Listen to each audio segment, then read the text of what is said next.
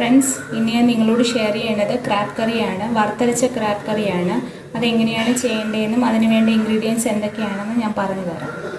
അതുപോലെ എന്റെ ചാനൽ ആദ്യം കാണുന്നവരാണെങ്കിൽ ഒന്ന് സബ്സ്ക്രൈബ് ചെയ്യുക അതിന്റെ അടുത്തൊരു ബെൽ ബട്ടൺ ഉണ്ട്. അതൊന്നും കൂടെ ക്ലിക്ക് ചെയ്യാൻ മറക്കരുത് കേട്ടോ. ഒരു വലിയ തേങ്ങ തിരിയതാണ് അതിലോട്ട് നമുക്ക് ഇത്ര ഒരു ടേബിൾ സ്പൂൺ കുരുമുളക് ചേർത്ത് കൊടുക്കാം. അര ടീസ്പൂൺ ഉലുവ ചേർത്ത് കൊടുക്കാം. വലിയ ഇഞ്ചി അരിഞ്ഞതാണ്. അത് ചേർത്ത് കൊടുക്കാം. ഒരു വലിയ ഇഞ്ചി നീളത്തിലെടുക്കുക പിന്നെ ചെറിയ ഉള്ളി ഒരു എട്ടെണ്ണം എടുത്തിട്ടുണ്ട് അതെടുക്കുക ഒരു വെളുത്തുള്ളി ഒരു പത്തെണ്ണം എടുത്തിട്ടുണ്ട്. അപ്പോൾ അത് എത്ര എടുത്തിട്ട്? ഒരു ടീസ്പൂണോളം വേണ്ട. ശകലം കടുകും കൂടി ഇട്ടിട്ട് ഇത് നമുക്കൊന്ന് വറുത്തെടുക്കാം. ഫ്ലെയിം ഓൺ ആക്കി കൊടുത്തിട്ടുണ്ട്. ഇത് നമുക്ക് വറുത്തെടുക്കാം.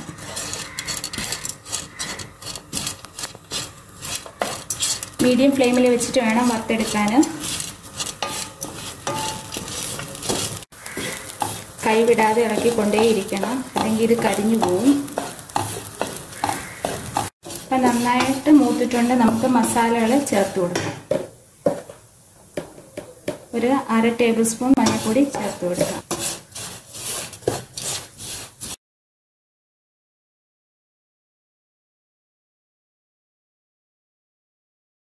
കാശ്മീരി ചില്ലിയാണ് ഒരു ഒന്നര ടേബിൾ സ്പൂൺ കാശ്മീരി ചില്ലി ചേർത്ത് കൊടുക്കുക. എന്നിട്ട് നന്നായിട്ടൊന്ന് മിക്സ് ചെയ്യുക. ഇതിന്റെ പച്ചമണം മാറുന്ന വരെ മിക്സ് ചെയ്ത് കൊടുക്കുക. മസാലയൊക്കെ ഇട്ട് നന്നായിട്ട് മിക്സ് ചെയ്ത് കൊടുത്തിട്ടുണ്ട്. അപ്പോൾ ഇനി നമുക്ക് ഫ്ലെയിം ഫ്ലെയിം ഓഫ് ചെയ്ത് കൊടുത്തിട്ട് ഇതൊന്ന് തടു തണുക്കുമ്പോൾ ജാറിലിട്ട് അടിച്ചെടുക്കാം.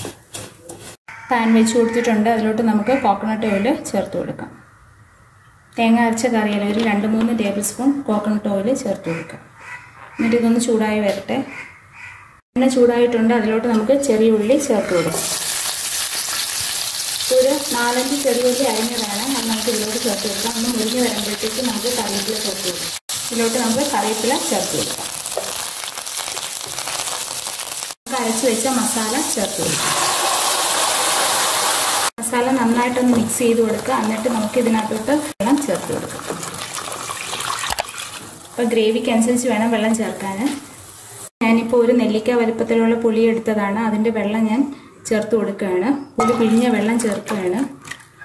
എന്നിട്ട് നന്നായിട്ട് മിക്സ് ചെയ്യുക ടേസ്റ്റിന് ഉപ്പ് ചേർത്ത് കൊടുക്കുക. ആദ്യം കുറച്ച് ചേർക്കുക. ചേർത്തിട്ട് നന്നായിട്ടൊന്ന് മിക്സ് ചെയ്യുക. എന്നിട്ട് അടപ്പ് വെച്ചിട്ട് അടച്ചു കൊടുക്കുക. കറി ഒന്ന് തിളച്ച് വരുമ്പോഴത്തേക്ക് നമുക്ക് ഇതിനകത്തോട്ട് ക്രാബ് ചേർത്ത് കൊടുക്കാം. നമുക്കൊന്ന് തുറന്നു നോക്കാം. അപ്പോൾ കറി നന്നായിട്ട് തിളയ്ക്കുന്നുണ്ട്. നമുക്ക് അതിലോട്ട് ക്രാബ് ചേർത്ത് കൊടുക്കാം. അപ്പോൾ ഇത് ചെറിയ ക്രാബാണ് ഞാൻ എന്റെ കയ്യിലുള്ളത്. അത് നമുക്ക് ചേർത്ത് കൊടുക്കാം.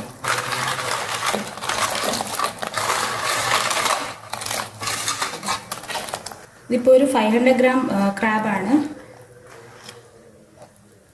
നന്നായിട്ടൊന്ന് മിക്സ് ചെയ്യുക ഇനി ഇതിപ്പോൾ ഒരു വേവാൻ ഒരു പത്ത് പതിനഞ്ച് മിനിറ്റ് വേണം. ചെറിയ ക്രാബ് ആയതുകൊണ്ട് ഒരു പതിനഞ്ച് മിനിറ്റ് വേണം. ഇപ്പം നമുക്ക് അടച്ചു വെച്ചിട്ട് ഒരു മീഡിയം ഫ്ലെയിമിൽ പതിനഞ്ച് മിനിറ്റ് വേവിച്ചെടുക്കാം. കറി നന്നായിട്ട് വെന്തിട്ടുണ്ട് ഞാൻ ഫ്ലെയിം ഓഫ് ചെയ്യാണ്. അപ്പോൾ പത്ത് പതിനഞ്ച് മിനിറ്റ് മതി ചെറിയൊരു ഞണ്ടാണെന്നാണ് പതിനഞ്ച് മിനിറ്റ് പറയണത്. അപ്പോൾ വലിയൊരു ഞണ്ടാണെങ്കിൽ ഒരു അഞ്ച് മിനിറ്റ് കൂടെ കൂട്ടി വേവിക്കുക. എപ്പോഴും വേവിക്കുമ്പോൾ ലോ ഫ്ലെയിമിൽ ഇട്ട് വേവിക്കുക. For watching Nella's kitchen മുടിതാ